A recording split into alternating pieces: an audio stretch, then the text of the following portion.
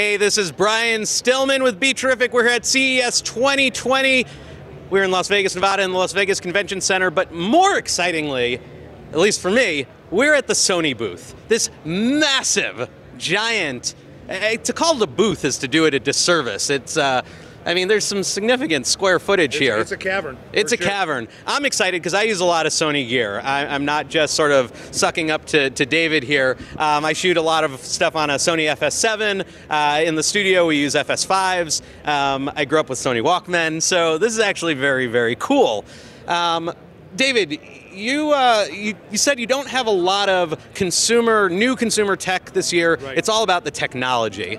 Yeah, typically in a show like this, you get a product lineup of things you'll see in the store in the next four to six months. Sony's taken a departure from that. We're really showcasing uh, a lot of the technologies that we have that we're, that we're developing for music, uh, for film production, for uh, for uh, VR, for automotive. That was a big surprise. Sony made a car, uh, as well as what we're doing for sports and of course display. I mean, really the only 2020 products you're going to see here a lineup of some of our uh, new premium model TVs. All right, so why don't we do a walkthrough, Sure. talk about some of the equipment, talk about some of the technology, and we'll we'll see where that takes us. Sounds great. Sounds great. So yeah, so uh, we're starting over here. So there's been huge advances in the last you know, decades with movie sound, right? You've went to five channel and seven channel with Dolby True HD and DTS Master Audio, and of course now we have three dimensional and spatial sound. But music has still remained fairly static. It's still left and right stereo, uh, two dimensions. So. Uh, Sony is developing something called Reality Audio, uh, which takes that same kind of technology and brings it to the creative music artist. So instead of positioning you in the audience, it's more idea about positioning you on the stage and letting the creative intent of the artist decide where those sounds are going to come from. That's pretty incredible. Um, you know, I've played in bands, so I know what it's like when you're on stage and you're hearing, you're sort of immersed in the environment of the music. Um, very different than when you're in front, and you're just getting hit with a sort of stereo sound system. Um, what what is going on with the tech for that? Take me through that a little bit. Well, so the technology we're using is MPEG H3D, which is an open standard codec. Uh, so anybody who wants to play in that sandbox will be able to do so. Uh, and it's really the technology is fairly fairly similar to what you'd find in, in a movie, where your objects are spatially located and, and volume is done. Product-wise, uh, we've connected our WH1000 Mark IIIs and WFs uh, to a Headphone Connect app. So one of the things that's interesting in the display is they'll actually take a picture of your ear and analyze the shape of it to uh, deliver the optimal audio performance through your headphones. They'll take a picture of your ear to optimize the performance uh, of the head, of the audio in the headphones. You said that twice, but I still find that sort of amazing. That's like taking it to a level that I think um, I'm, I'm sort of speechless on that. I'm curious. I want to back up just for a second with the 360 audio, with the the sort of putting you in that space. What does that mean for musicians, for audio engineers, and stuff like that? Are they mixing the music differently? Absolutely, absolutely. They're, they're mixing things differently. Instead of, I said, instead of determining spatial relationships left and right, now it's left, right, top, back, rear, however you can imagine it. So, you know, in a live performance, you probably might want the singer here, but maybe the you know, the backup singer's clapping his back behind you, and the piano player's over there, and the drum guy's up there. However, the artist feels they want to make that happen, uh, they can do that. That's incredible. I mean, we already do 5-1 mixes when we're making documentaries, movies, and stuff like that. And then we deliver that. We deliver a maybe a 3-1 mix. We also deliver a stereo mix. We deliver all different mixes to the final uh, wherever our, our movies are going. So now it's going to be a similar situation with music. Yeah, absolutely. Okay, so this is so the software uses Sony's Headphone Connect app. And what you want to do, we're going to do the ear, ear shape. Thank you. We're going to agree to that. So what you want to do is position your face. Am I going to do this? Okay, I'll do this. do this. Says if I can get this to slide down a little. So they're literally going to take a picture of my ear. So, well, so we're going to try and lower this a little more. Let's get the short guy to do this. Um, okay. there it is. Oh, I see it. Yep. It's just a little clamp. Yeah. Yeah, I got it. I got it. You got it? All right, Yeah. Sorry about that. Uh, so we'll just do this. That's by demo. Ah, there we go. Okay, so now, All right. So if you position your face, uh, let's, let's go back. Captured photo. Okay. And then So- position your face again in the middle so it gets green. Move a little closer. Oh, I got it. I got it. Okay. There you go. Now turn the other direction. Turn towards me. Please rotate captured photo. Captured photo.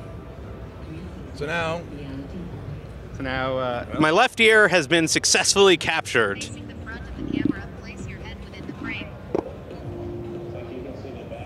back a Please move the camera away from your head. Turn There your you go. head slowly to the left. The other way. My other left. Captured photo. Captured photo. All right, so Now- it's got photos of both my ears. Um, right ear has been successfully captured. Start analyzing ear shape. So now it's analyzing your ears. Uh, it'll take approximately 30 seconds. It doesn't even seem to be close to 30 seconds. It's nice and quick. Scanning and analyzing my ears. Your ears have been successfully analyzed. So now, the headphones. Well, now you can select music from three sources. We have Deezer, Nugs, and Tidal. They're all currently doing streaming music um, in, in for 360 Reality Audio. In the future, um, you'll be able to also do downloads. Uh, and since we're working in conjunction with Warner Brothers and Universal Music, there'll be a large playlist of availability. All right, so I'm going to try this right now. Um, so I got the headphones on, and we're just going to pick one at random. Title. Okay. No, no, no. Yeah, yeah. Okay, that's Whoops. good. No, that's good. All right, and uh, let's see how this sounds. Oh, let's. Uh, okay, uh, I, I don't even care. Um, what do we got here? Um, you know what? I'm gonna just close my eyes and pick one at random. Uh, that's what I'm gonna listen to. Oh man. Okay, now I gotta pick this. All right. So. Uh, yep. Oh. Whoa. Okay, so this is wild. It really sounds like I'm surrounded by the. Uh, sounds like I'm in a live performance, surrounded by the musicians, as if they're all around me. Um, here, I'm actually going to skip ahead because he's talking. Uh, let's get right into the music here. Um, all right. So I got a guitar, a little on my right. Um, Let's see, I've apparently picked something with a slightly slow intro. Oh, there we go. A lot of funk on my right here. This is pretty good. You guys don't know, but we've been standing above the Galaxy booth for the last three days, and I've got this loop in my head because they're playing music in Galaxy. This is uh, helping to erase that. Oh, good. So, whoa. Yeah, this is wild. It really sounds like I'm in the middle of this uh, musical environment. Yeah, that's incredible. There's literally music surrounding me as I wear those headphones. It doesn't sound like it's coming from the left and the right. It sounds like there's something positioned right behind me. It's something that I'd expect if I was in a room with multiple speakers, uh, theater environment, or something like that, or at a show Right. up on stage with the musicians. Um, I've never seen that from headphones or, or heard that from headphones before. It's, it's a completely new way of listening to music, and people have the same sort of reaction that you've had. It's like, this is very different and very exciting. You know, that you don't have that sort of two dimensionality to it. Now it's three dimensions. How does it do that? Well, I, I honestly, it's at least the technology is very similar to what you find in atmospheric for, for movies. It's all computer based. A lot of it is psychoacoustics because you only do only have two drivers. Right. So a lot of it is just. I've only got two ears. Only got two ears, exactly. Well, that, that's where the analyzation of your ear comes into play, is to help help with the psychoacoustics of that. That is awesome. So this is definitely some cool new tech. 360 reality audio. Um, they scan your ear. Now here's the question I have for you. Let's say um, this goes to market as a consumer product. Uh, do you? Oh, you just use your phone. this is- oh, this is out. this is okay, out, yeah. so you just use your phone to scan your ear and follow the The instructions. The Sony Headphone Connect app is available on both iOS and Android. It's free. Uh, it works with your Sony headphones, so you said you just scan your ears and then enjoy your music. So subscribe to one of these services. That is awesome. So you can do that today, um, and then it's just a matter of time until your favorite musician is mixing their audio to uh, conform to it and to give you what you want. Um, personally, I'm looking forward to hearing Slayer as if I'm sitting up on the stage. Will it happen? I don't know. They're breaking up, but we remain hopeful. We remain hopeful. Uh, so what else do you have for us? Well, so just a couple of other iterations. One that we're showing here is a single single point speaker for 360 reality audio. Again, stereo, right? If you get out of the sweet spot, it's not so great. But with this speaker, anywhere in the room, whether in terms of both horizontal and vertical position, sounds pretty much the same. So there's no loss of fidelity, no loss of, of music quality. Can we check that out? That might be something I can maybe demo for the people at home because I've got a microphone and uh, as opposed to wearing headphones, which won't give them any information at all. Um, so, so anywhere in this room is as if the speakers are optimally placed for me. So I'm walking around, checking this out. Um, I don't know if you guys at home can hear this. I'm going to try and hold up the microphone, and hopefully this will work. And you won't. uh, Ideally, you're going to hear the sound uh, equally well wherever I'm moving in the room, as if uh, as if the speakers were almost following me.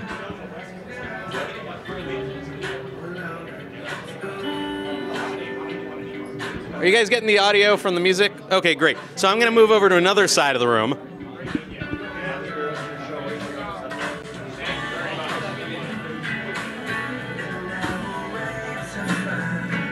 Okay, so it definitely gets a little louder as I move closer to the speaker, but in terms of sound quality, being in that corner of the room, being over here is not drastically different. Um, it's just a little bit louder. So I'm going to try moving over to this corner, and then the music turned off. So we're moving to a, moving to a different song. All right, um, we're going to try this again. See if it sounds the same.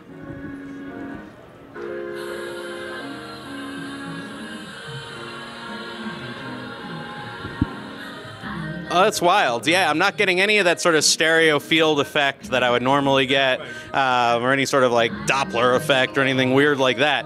Um, that's pretty crazy from a single speaker that you can just sort of stick anywhere in your room. Yeah, we think it's going to be a very uh, consumer-friendly product. The the less gear that you have to have, right, it's a little bit easier for the normal consumer to be able to enjoy it and get the best possible performance rather than having multiple speakers placed around the room to deliver that same experience. I can definitely see it also being useful in almost a retail environment or something like that as well. Yeah, it would be very easy to set this up in almost any you know, con- commercial or uh, consumer house. So, so this is this gives you an idea of how the, the, audio is placed. So you can see the different balls are saying um, that's you know the orange ones are, are coming up, so the sound is coming from behind you at that height. Um, you know, so it's just it's a graphic representation of how it's worked. As that's the computer software that's used to to develop it. So you can assign a channel to a space and then adjust the volume and tonality of it that way. Man, I have enough trouble mixing for stereo. I can't even imagine the uh, level of expertise that goes into mixing for that, but you know, it's the wave of the future. Yeah, thank, thankfully for computers, we don't have to worry about they do all the work for us, and then that's called Skynet. So, right, right. Uh, so what's next? so this is actually one of the more popular things in the booth. So Sony Pictures Entertainment is here for the first time in many years, and they've developed a, a system called Atom View, A-T-O-M, um, and it uses our crystal LED display, which you can see over there, to to three-dimensionally render a backdrop. So that, in conjunction with our Sony Venice camera, um, we're able to eliminate a lot of CGI effect uh, because that's very expensive to do, and of course there's a lot of that. So let's go take a look. So what were you gonna, what you're going to see here? So this is actually the Ecto One from the original 1984 Ghostbusters movie. This is the screen used Ecto 1. This is the screen used Ecto One. So, So- we, we keep stuff. This is super cool to me. I actually collect movie props. Okay. Um, so being able to see the actual screen used Ecto 1 for one of my favorite movies is super cool. Um, I, I work on a TV show where we, we discuss movies, and one of them was Ghostbusters. So this is thrilling on many, many levels. I, I, I want to thank you, sir, for giving me this opportunity. Um, okay, so what's going on in this section of the booth? Okay, so if you come o- if you come over here, you can see. So if you look at the backdrop, it looks like a stage set, but as you see the cameras on a dolly and moving, look at the way the backdrop is changing. You can see that the whole thing is shifting in order to keep the perspective on the on the TVs the same. So it's creating the parallax effect that we would get yes. from a physical studio. Yeah, so they do what's called a volumetric production, which means they go out with 3D cameras and they map the entire backdrop that they're using. So this is this is from Sto- Sony Studio Pictures lot, and so they do so they do that volumetric capture. And then they display it on our Crystal LED technology. Uh, Crystal LED, which we'll, we'll see in a little bit, uh, has ve- it's very close to our industry standard BVMX 300 color and contrast grading monitor. Uh, so what you're going to see is you know, this shifts in order to do that. They told us that it took five days to do the volumetric capture of the of the backdrop. If you if you get a chance to look at the bottom, you'll see some leaves that are blowing past and the curb. Those are CGI. It took two weeks to do that. Wow. So, so if you can imagine, you know, going someplace and capturing a scene and then being able to take it into a studio and have complete control of the environment. And then, of course, if we decide in five years to make another Ghostbusters movie, we already have the backdrop available to us. And so, one of the one of the interesting things about this is the fact that all of these, if you look at the video camera or the display up there, all of the reflections on the car, all of the lights passing through the windows, if this was a green screen, those would all have to be rendered. But because the backdrop also acts as the lighting source, all of it is photorealistic and actually the way it should would be in real life. This is amazing. I am watching the set shift. I'm watching the perspective change, the way it changes when you move a camera around a physical space. But I'm not moving. It's disconcerting. It's so realistic. Watching the hook and ladder, you know, the Ghostbusters headquarters shift around and seeing the sign move, seeing the perspective change exactly as it would if we were in a physical space and the camera were moving, uh, that is, uh, that's incredible. I mean, it looks real. My brain is completely fooled by that. and I'm standing here. I can only imagine if I was watching it through that secondary filter of a, t- of a, of a movie theater, it would be even more realistic. There it is up there. Yeah, that's Yeah, so that's just incredible. Oh, hey, nice to meet you. I'm Brian Stillman. Um, We're doing a live feed, Bill. yeah, so this is uh, this is amazing. This thank is you. incredible. We think it is too. Uh, so where where are we going to start seeing this technology? Anything coming up where we can kind of uh, movies coming out where that are currently using it? Well, right now we're getting the software ready to launch, and uh, it can be used in a variety of um, places. Hopefully, you never know where it's being used. That's the whole purpose, right? obviously. Um, but as a as a filmmaker myself, just seeing it is super cool, and being able to sit in the movie theater and go like, I know how they're doing that would be neat. Um, but there's nothing. It's not currently in place with any productions that we're aware of. So, so with LED, with the LED screens, no. Currently, the same uh, software, or Atom View technology, is being used in uh, the, sh- the TV show Shark Tank to uh, shoot the interviews at the end of uh, and at the end of each pitch. Um, the LED uh, use of this technology is something new that we brought to CES. We've come up. This is this is like fresh out of the box, and so there are there are definitely uh, potential projects that'll come up that'll use this technology. super cool. I mean, we're looking at cutting edge filmmaking right here. Um, green screens becoming the thing of the past, I guess. This is pretty much it for them. Everyone put that green paint away. No more walls, no more matting. Oh man, saving. Acting in front of a tennis ball. It saves hours of work and only costs zillions of dollars. So it's perfect. what a trade-off. What a trade-off. Um, that's awesome. And you're shooting this on the new Venice cameras, right? That's correct. Um, anything you can tell me about those? That's probably Anything you can tell me about the Venice cameras? I'm super excited about those. Not that I'll ever get to use one, but I, Oh, uh, of course, I'm into them. They're accessible. The Venice camera is a full frame uh, 6K sensor. You're able to shoot anamorphic, uh, full frame anamorphic as well as um, spherical. So you can get a full 4K output. And what what's beautiful about this setup that we have here, using the crystal LED along with the Venice, along with our our um, HDR asset in the background there, um, and Atom View is able to provide a full HDR pipeline. Is we're actually displaying that asset in HDR. We're capturing it in HDR on the Venice camera, and then we're feeding it. They're feeding that live feed of the scene back to these uh, Sony uh, Bravia A9G OLEDs in HDR as well. So that's why we're able to maintain highlight, uh, saturation, have all that detail in there. That is exactly in the scene, all the way through the pipeline. And that's a big thing for me as a filmmaker. I'm always shooting in log. I'm using Sony Log, S-Log 3, and you know we have to then grade it for Rec 709 output, um, which for the viewers at home basically compresses the heck out of everything. Blacks, everything sinks into inky blackness. You lose those darks and lights that give everything such a realistic look. But this is continuing straight through the pipe. Straight through the pipe, exactly. HDR, exactly. S-Log3, S-Gamut 3.cine into the camera, converted back to PQ for the displays. But yeah, I mean, of course, you can always do a Rec 709 output as well. But but but but this is the this is the benefit, right? Is you get to actually keep the yellow, the the green saturation, the blue saturation of the lights, the highlight detail, all that's captured and able to be processed through real time as you're seeing this as a real time image. So Yeah, I mean, what I'm seeing with my eyes looks exactly like what I'm seeing on the screen. exactly, and that is the the intention. You can always make it look different if that's what you want. Well, but uh, yeah, of course, of course. yeah, yeah. When is the Venice available yet? Is that something? Venice has been out for how long now? Probably about a year, a little over a year. So the Venice is available, and it, you know, many, many, many uh, movies and episodics have been shot on the Venice. Um, there's a you know fairly big feature that's going to be coming out soon that was shot on it from Sony Pictures as well as other studios. And that would be? from Sony Pictures, that's uh, Bad Boys Three. Oh man, Bad Boys 3, man. I grew up on Bad Boys and Bad Boys 2. Uh, a friend of mine actually was a shooter on Bad Boys 2. He was a Steadicam operator. When they blew up the house, he was there. So uh, that's very cool. Um, great. Well, thank you so much for taking a moment to stop and talk to us about some tech that I'm excited about. Uh, David, what else we got? So, how much time we got? How much does you want? Uh, yeah, I don't care. Let's- Okay. Well, so so you know, obviously Sony's uh, in the gaming industry, and of course, you found out that all we announced about PlayStation 5 at this show was the logo. Um, but what, you know, one of the areas that we're working on, of course, is 3D, VR, and AR.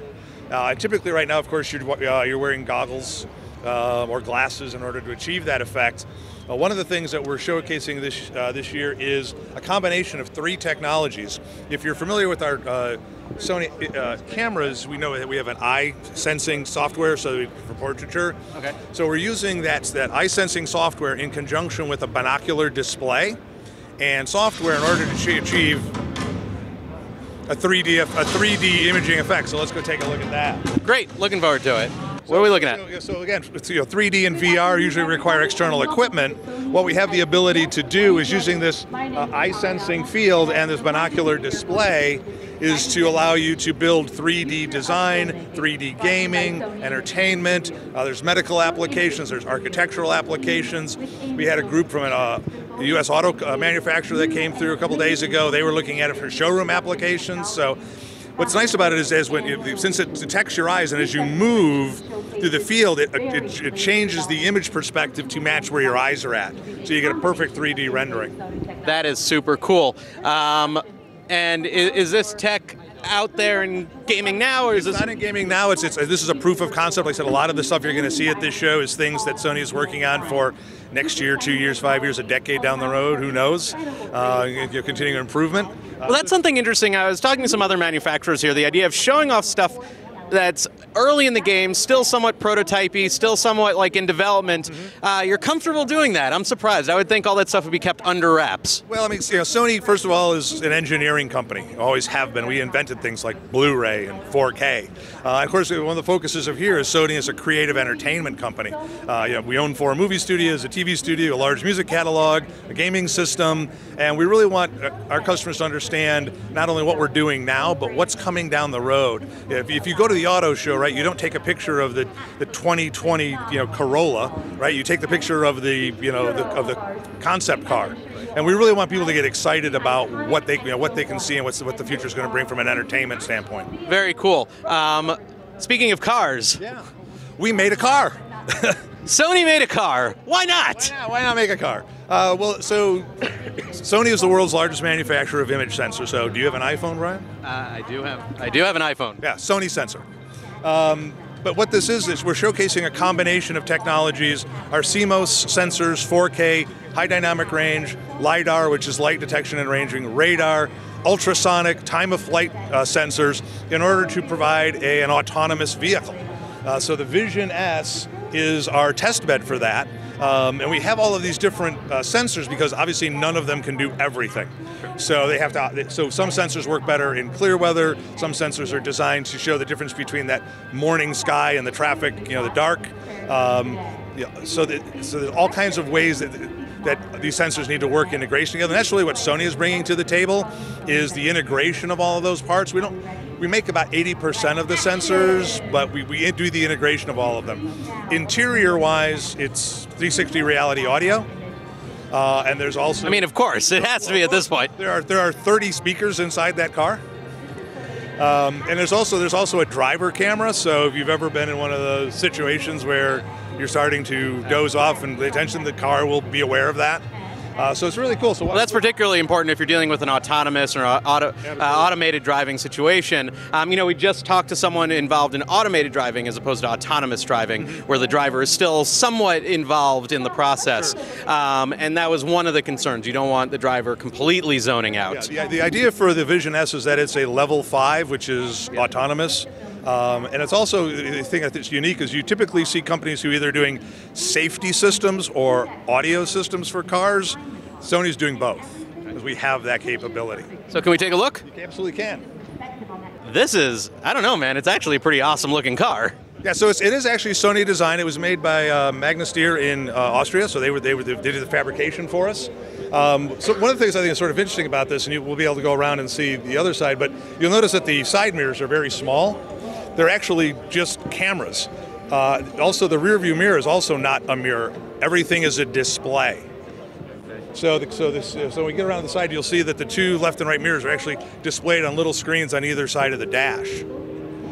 Interesting. So, those are cameras positioned where the mirrors would be, but the actual thing I'm looking at is right by the dash. Correct. So there are 33 sensors uh, inside and outside the car, 25 outside, 8 inside, that perform, like I said, a variety of, of safety and entertainment functions.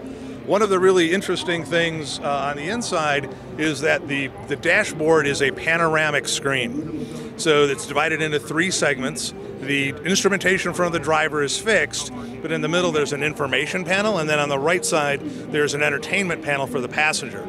So, so there's a lot of interactivity with that. So let's say you and I were driving together and you said, hey, we got to go check out this new restaurant. You can pull the infor- uh, information panel from the center and swap it, type in the navigation information at location, and then push it back to the center so that I can use it as the driver. So now Sony is developing those systems that, in theory, other car manufacturers would then integrate into their vehicles. Correct. Yeah, so it, it was much easier for us to, to, to design and build this vehicle than it would be to disassemble somebody else's and then reinstall all this. But if you look in, you can see on the far right side, that's the right hand mirror. Okay, now that's that's really cool. So the mirrors themselves are actually cameras that allow you to that display whatever you're looking at, you know, whatever's behind you, on the display in what seems like a more ergonomically intelligent position. I don't have to look, you know, my eyes don't have to leave the road quite as much. They can just glance down right there to a screen. They don't get dirty. Um, all sorts of things. Um, are objects and mirrors still closer than they appear? Uh, I actually think that it's actually real time.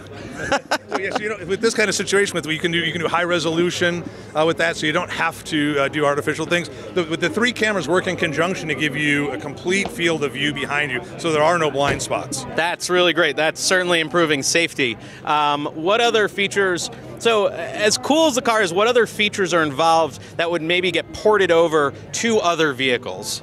Well, I said the, the entertainment system, of course, is 360 reality audio. The sensors inside measure the number of passengers and their location. Um, I mean, those, those are sort of the, the, the interior sort of features, the fun stuff that the customers enjoy. I mean, really, the idea is that all of these things are integrated into making the vehicle safer. So, why did why did Sony want to do this? Why do you want to enter? I mean, okay, car stereo is fine, but why did you want to enter this kind of uh, complete sensor uh, scenario where you're both developing for autonomous vehicles, but you're also developing safety situations, uh, you're developing audio, all these other components that maybe people think fall slightly outside the purview of Sony, what you know, entertainment company, what they think of as an entertainment company. Well, again, a lot of this is the result of our uh, proficiency in image sensors. Our image sensors, CMOS sensors, are so far advanced that they offer better performance, which, of course, in a safety situation is, is much more important. Like the high dynamic range capability, some of our sensors have a 40 stop range, which gives you an incredible difference Yeah. right between bright and dark, and as well as high resolution. You know, we, we do fully a lot of 4K, so you just the performance of the sensors lends itself to this. And then, as I said, the integration of all these things together uh, is what really was really what Sony is delivering is that ability to determine which information is the most important and which of the information is the most accurate. And that's really that's really the discerning part because all this is not happening just in milliseconds, but in nanoseconds. So it's really looking and saying we have this technology, we're capable of doing this. Why not go into this market, move into this market, take this technology, develop these systems? Since the technology is something Sony's already got in, in, in place, building. Yeah, the hardware is, is what is pretty much in place. With the, I said the real focus is the Integration. integration and understanding. You know, what's the most appropriate device to make the decision, uh, and that's really where Sony's focus is, is at. when, from the time that Sony decided to start working on this to the time where we're able to show a car with these features, how long has it been? I'm not sure when this car was developed. I didn't know that it existed until two hours before the press event. So this was this was a well kept secret. This entire area of the booth, and we were here on Saturday, was completely locked out. So that just shows how new, fresh, uh, innovative the stuff at CES is. Even the people working on it don't always know what's going to be here until they're here and it's unveiled.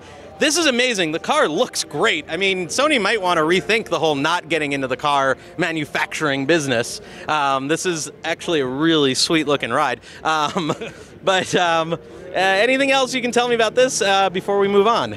Yeah, you'll notice in the, of course in the back there's different displays for the rear passenger, so you can simultaneously have three separate audio and video tracks going. The headrests, uh, the, the shoulder portion of the seats have speakers built into them. Of course they do. Well, that's what that, I said. There were 30, so that's where at least eight of them are. They got to go somewhere. I mean, if I can't play my PlayStation in 3D sound, then why am I even driving? What's, yeah, what's the point of that? I, I don't even know. Um, all right, we're gonna move on. This is awesome. Okay, guys, uh, guys at home, I don't think you understand how excited I am. I really love this stuff. I get off on this stuff. Um, I like Sony products a lot. I've grown up with Sony products, so being able to check out what they've got coming is a lot of fun. Um, so if it's if I seem a little it's because I am. This is fun. Uh, you, you all don't you don't know what you're missing. I'm about to walk off a ledge here. Like uh, Adam behind the camera just pointed that out to me. Um, everyone at home is going, no, don't tell him. We want to see him take a spill. Um, all right, what's what's this? I, s- so- I see a camera. You see a camera. So um, Sony, of course, is very heavily involved in the production of sports across the world. World Cup, all the major League American sports, uh, pri- prime time college uh, athletics. Uh, so the two technologies we're showing here. This first one is, of course, a new efficient way of uh, giving having a remote camera.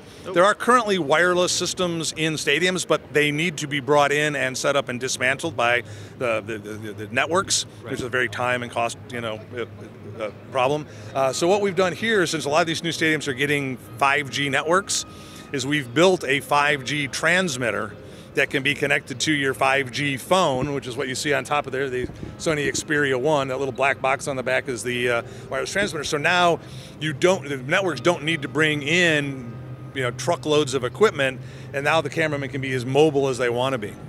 Let's go check this out. That's very cool. All right. I love the idea that we can use our phones as the, the sort of key piece of equipment that's linking things up. These things that we have with us anyway, um, why not use them for that? Yeah, so here, so, here we have a Sony 4K, you know, sports camera, um, and so like I said, the, on the back here is the is a transmitter box, and then like I said, there's and there's your device for the transmission, so it goes right out to the production van. That is sweet, and that certainly makes life a lot easier. You know, we've done sports coverage at uh, Be Terrific. We did basketball games, and we had to bring in um, 14 cameras and uh, 15 million, um, 15 million uh, microphones, but we had to bring in miles of cable. You know, and to be able to avoid that for something like that would be fantastic. Make everyone's life a little easier. Um, that's a great system, and it's compact. These cameras are already big enough. Having to load more onto them is uh, not fun. It, it makes it much easier on the cameraman. Like I say, now you can get into places where you couldn't before, uh, and just and just from a time perspective, every, all of these new stadiums are going to have 5G networks in them because everybody's on their phone making bets. Yeah. Right. Well, now here's my other question. I mean, it looks like the technology itself could be used in any application. If I'm out there news gathering and we're in a 5G environment, um, pop this on my camera, pop this on my camera, my FS7, let's say, Yeah. and then boom, I'm broadcasting back to the That studio. would, that would absolutely be possible when 5G networks become, become more prevalent in cities and other areas.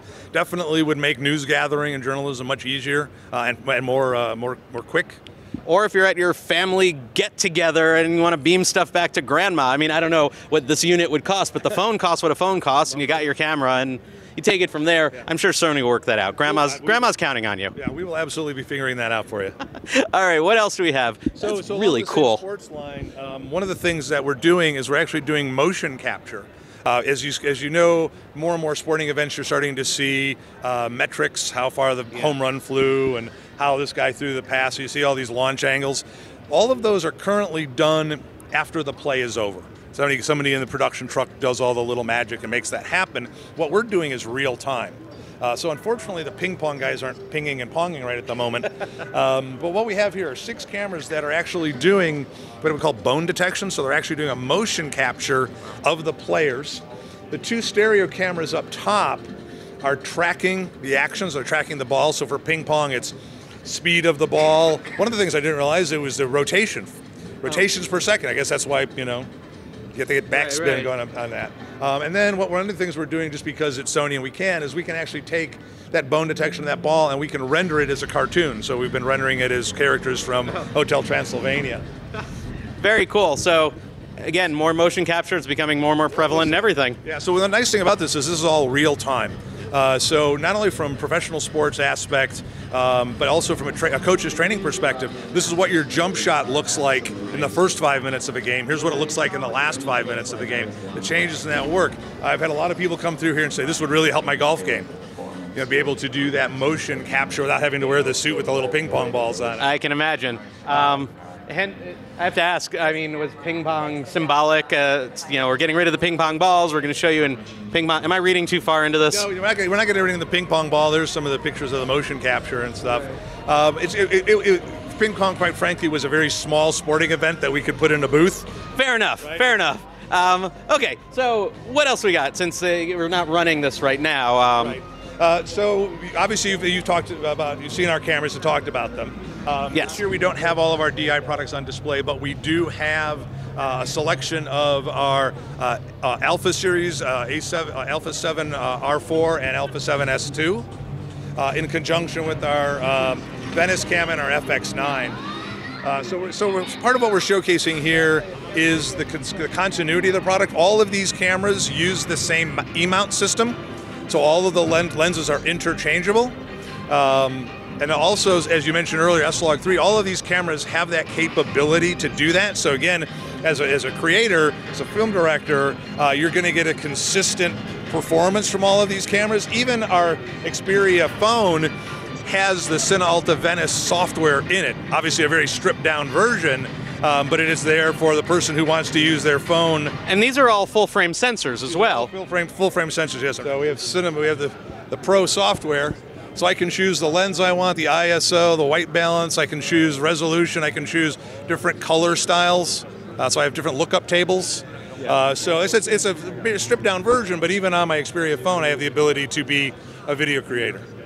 it's really cool from a filmmaking point of view being able to have cameras that match i mean okay yes the venice is not going to completely match with an a7r but but if you're shooting everything if you say we're going to shoot everything 4k or we're going to shoot everything hd uh, within whatever the capabilities of your lowest end camera might be having all the same size sensor having all the same um, uh, s-log 3 being able to say, okay, our A cam is going to be the FX9, and we're going to have the A7R as our B cam, and we're going to stick a couple of these things over there, and knowing the footage is going to match up makes everyone's life a lot easier in post production. So I like that consistency that runs through the Sony line. Yeah, and I also forgot to mention our RX0, which is this camera here.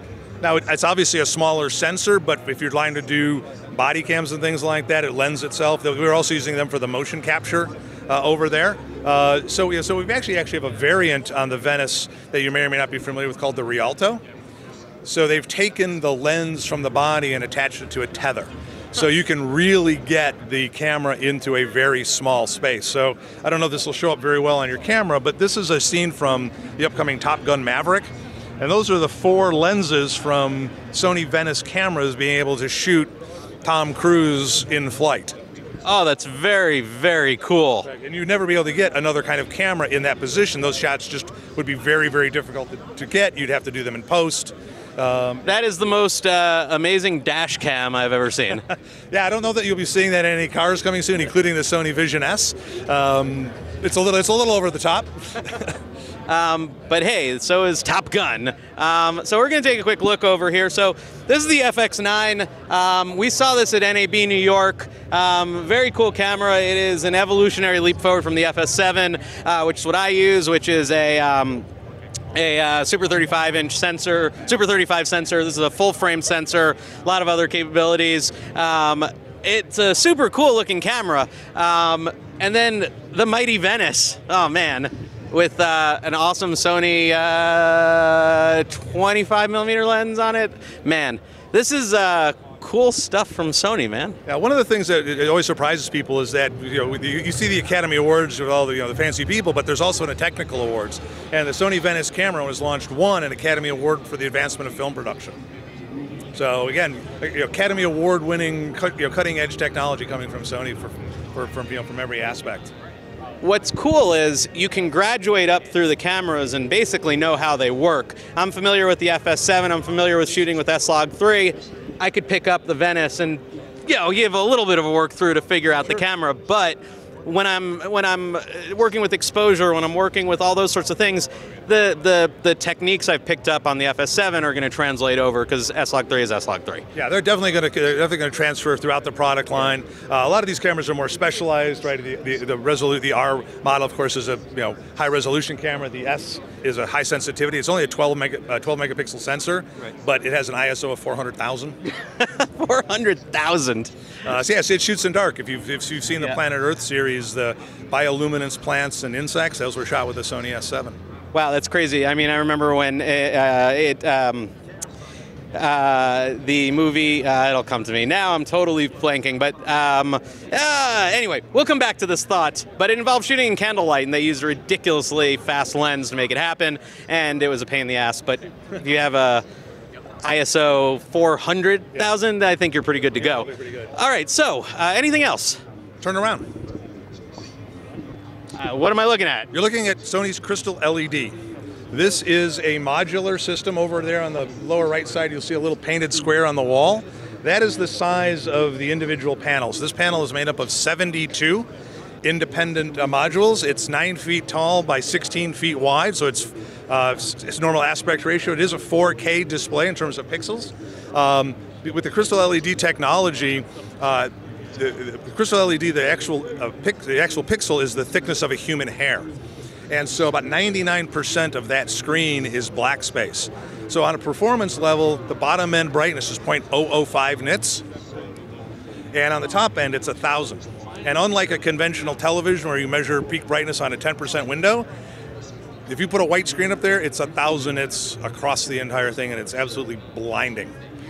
Uh, so, so this has been commercially available uh, for about three years. Uh, we announced at CEDIA 2019 a few months ago that it was now available for consumers. So, Brian, if you want this, this can be installed in your house for just under a million dollars. Okay, so um, this is going out to my wife right now. I know what I want for my birthday in April. If we start saving now, maybe we can make this happen. I noticed you didn't say April of what year. Well, yeah, yeah, for my hundredth birthday. Um, by then, the technology will probably cost like a dollar. It might. Uh, there's a long way to go for that, but it, it's, but it's completely modular. Uh, so actually, the largest installation that we currently have is at the Shiseido uh, Cosmetic Company in Tokyo. Their display is 18 feet, so it's twice as tall, and it's 64 feet wide, so it's four times the width. And it's in their lobby, and it just shows beautiful things. Um, one of the things that we're starting to do with this um, is we're starting to use this as a check in post production. So if you've done any sort of film or TV work, you might be familiar with Sony's BVM X300, uh, another Academy Award winning product. Um, and it's a color and grading monitor. Um, it's OLED, but it's only 30 inches in diameter. So it's very difficult in very complex scenes to get close enough to see a lot of detail. So they'll do the work on the grading monitor and then they'll put it up on a display of that size because now you can see everything 50 times larger. And it's much easier to see that the, the color and the contrast are correct. You didn't miss something in the CGI that all of a sudden becomes blazingly apparent because now it's on a theater sized screen. This is incredible looking. I mean, and uh, you can't even tell that it's made up of panels. I mean, it looks like a single seamless uh, display. Yeah, it's, it's, it's very different than the kinds of things you typically see at like a sporting event where you can see the different modules together and, and there's a lot of black space. This is this is a completely seamless picture. Um, it's actually laser aligned. It took these guys about three days to assemble this, um, but it, obviously you can, you can see its precision. Uh, it's the same. It's obviously the same display that we use in the back of the Ghostbusters. So that's Right. the, this same technology. Um, Yeah, so we're pretty excited about it. Um, it, offers a lot of opportunities on the professional market, the commercial market, and then we hope someday on the consumer market because you get all of the contrast benefits of, of an OLED type television with the brightness benefits of an LCD. It even has a 180 degree viewing angle, so if you walk all the way to the side, there's no color shift or fade. That's incredible. Uh, looks fantastic. I mean, it's it's. Yeah, it looks fantastic. I don't even know what else to say. Um, all right, so we, we've made a pretty big circle around the booth. Is there much left? Yes, so we have some of our 2020 TVs uh, on display, as well as our Master Series TVs, which were launched about 18 months ago. Master Series is Sony's, I guess I would say, professional consumer televisions. You know, we talk about the consistency of, of performance, you know, in our studio monitors and something like Crystal LED. Master Series is designed to replicate those uh, uh, perf- that performance as closely as possible. Each Master Series TV is individually calibrated before it leaves the factory, uh, so there's a high level of detail. Uh, the two uh, ones that we're showcasing here, like I said, came out uh, a few months ago, but we have our A9G uh, 4K OLED, and then our uh, Z9G 8K, which is available in uh, 85 inch and 98 inch. Wow, these are uh, super sharp. I mean, it looks like we're there. I don't know how this is translating to the viewers back home, but uh, the level of detail and the color and the just the smoothness of it all is pretty incredible. Um, eh, I mean, I'm assuming you're feeding 4K content into the 4K TVs. Absolutely. Yeah, 4K content, 4K HDR. Um, one of the things that's sort of unique about both of these televisions is, as, as I pointed out earlier, Sony is an audio company. Um, so we've incorporated some uh, new technologies because as TVs have evolved and gotten thinner, uh, the sound has become, and I hope your viewers won't mind if I use the technical term here, has become crappy. Um, so what we tried to, so what we've done here within all of our OLEDs, it's an OLED is a sheet of glass with the pixels embedded in it, we've actually put ac- acoustic actuators on the back of the television, and we microscopically vibrate the screen to produce sound. So the entire shot, the entire uh, picture is the sound, is, is the speaker. That's very cool. So the, the speaker cone that we're used to seeing move back and forth and whatever, it's actually the glass plane that's become the resonating surface. Correct. So it's a, it's a very cinematic experience. Right, you go to the movies. Still today, about 80% of the sound still comes through the screen. Uh, and one of the things that's sort of interesting when you watch this is if you and I were being viewed on the screen, your sound, your voice would come from that side of the screen, and my voice would come from the right side of the screen, and it would actually be very cinematic. Um, the first time that I, I turned around in my house, it was like this is a really exciting experience because it makes TV watching very different or TV listening very different. So you get to have this stuff in your house, man. That is the, the do you have one? Do you have one of those? The the big I- I- giant I would- screen. Sony would have to buy me a bigger house first. um, but yeah, obviously we'd all love to have that. Um, yeah, one of the perks of the job is I do get to play with some of the fun stuff. Oh, that's very cool. One of the perks of the job is I get. Uh, well, they bought me lunch. That's a thing. Okay, Uh, that's a a perk of the job. Yeah. Um, okay, what are what are these um, besides giant? So these are our uh, Sony 8K Z9G. This is the 98 inch uh, and an 85 inch. So the 85 inch is what about 15 now, Caleb? 13. 13,000. You want to take a guess on what the 98 inch? Um, I'm gonna go with uh, 47. Forty-seven thousand. You're about 60% of the way there. It's 70. Oh well, okay. So so maybe for maybe for Father's Day you could get something like that instead of instead of. I got to get kid first. Oh, okay. Well, um, so again, you know, from you know, so 8K uh, resolution. Um, again, from a sound performance standpoint, we can't vibrate an LCD screen. It's made up of layers. Uh, on this model, we've actually put. You'll see there's this little stair step at the top of the display. There's two forward-firing speakers at the top, two forward-firing speakers at the bottom, plus two subwoofers in the back. Another thing that's unique about both of these TVs is that they have what we call center channel mode. So if you have a surround sound system, you can take the center channel output of your receiver, plug it into the back of the TV via speaker, and now the TV acts as your oh. center channel. Similar to the the technology we saw on the other TVs. Right. Yeah. So both of the TVs have that capability because if you can imagine on a TV this size, the center channel is going to be six inches off the floor. There's a big audio disconnect, right? So by having the sound come through the speaker, again, we get that more immersive, more realistic experience. Very cool, very cool. It looks great. Um, you know, as we've seen from all the monitors, all the screens we've seen so far, uh, this looks fantastic. Um, wow. Uh, is there more, or are we I at mean, the end? There's always more, but I, mean, I think one of the things, you know, we- we- with 4K TV and even 8K TV, one of the things that Sony spends a lot of time talking about is processing. Uh, because the picture is not the picture. If you think about what customers are still watching today in HD, an HD signal is, if it's 1080p, is 2 million pixels. A 4K TV has 8 million pixels. This has 33 million pixels. So if I'm watching something on a 4K TV, 2 million pixels coming in, 8 million pixels being displayed, there's a 6 million pixel disconnect. 75% of the picture you're watching is created by the, the television. And so that's why Sony, as a professional entertainment company, spends so much time talking about processing because that's where you're seeing the real benefit of that. In the upscaling of it. Exactly. And upscaling is not just resolution; it's also color and contrast. Uh, as, as you know, the TV performance improves. This this particular television uh, was reviewed uh, and was the, the brightness was rated at 3,950 nits. So this is almost a complete, and that was after calibration. Um, so it's a it's a very bright TV, which means if you're watching Dolby Vision, you're getting the full Dolby Vision spec. Well, gorgeous. Looks great. Um, and is bigger than me. So that's good to know. Um, very cool, man. Um, I have to say, I'm impressed with a lot of the technology that Sony's putting out there. I'm, I'm particularly impressed with the applications that you're putting it towards with the car and everything else. What do we expect to see from Sony in the future? Um, anything? I mean, I know this is all sort of future tech, but what are the big picture projects that Sony is kind of looking at five years out, ten years out? Can you can you I, say I, yet? I honestly don't have that sort of information. I think you can see there's a lot of applications that you even talked about. Um, you know, for, for gaming things like that that you know, we haven't considered. Um, you know, we're looking at you know, all more more and more ways of using this technology. We want to expand people's immersion in their entertainment, right? Picture and sound, and information uh, and safety, uh, just to be able to give customers the kind of experience they're looking for. Great. Um, well, David, thank you so much for giving me a tour of Sony. Uh, like you said, the cavern, the cavern of Sony. This has been a lot of fun. Uh, we're seeing the sort of technology that CES is known for bringing people. Sony really is uh, really bringing it home. Um, uh, is there anything else I need to know? I feel like we've seen a lot, but Oh, we've seen a lot. Uh, we've launched a couple of new 2020 TVs. They're on the other side. If you want to take a quick look. at oh yeah, sure. Let's a few things that consumers can actually buy. Yeah, well, these consumers can buy these. Some consumers. Some consumers. Uh, so we're we're also launching um, two new models. Uh, we have a uh, Z8H, which is a new uh, 8K model. Uh, so we have that available in 75 and 85 inch. Um, the processor is the same uh, for picture processing. It actually uh, won a Best of CES award a couple of years ago. Um, one of the things that differentiates that TV from this TV is the backlight. Uh, in order to improve color and contrast on an LCD TV, you, you improve the backlight.